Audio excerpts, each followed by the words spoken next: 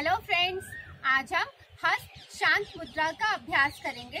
इसके लिए आप आराम से सुखासन में बैठ जाएँ, कमर गर्दन को सीधा रखें। आइए अब ये जानते हैं इस मुद्रा को करना कैसे है।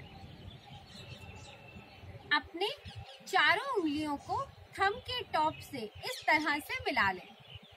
दोनों हाथों से आप ये मुद्रा इस तरह से बना लें।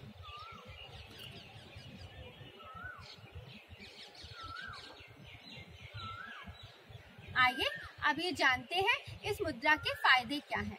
ये मुद्रा कंसंट्रेशन को बढ़ाती है जिन व्यक्तियों को गुस्सा ज़्यादा आता है या चिड़चिड़ापन रहता है, उसे ठीक करती है मन को शांत रखती है आप इस मुद्रा को कहीं भी कर सकते हैं सुबह शाम आप इसका अभ्यास करें पाँच से दस मिनट और इस मुद्रा का लाभ उठाएँ। फ्रेंड्स अगर आपको मेरी वीडियोस अच्छी लगती हैं तो प्लीज़ मेरे चैनल को सब्सक्राइब करें लाइक करें और शेयर करें. Thank you friends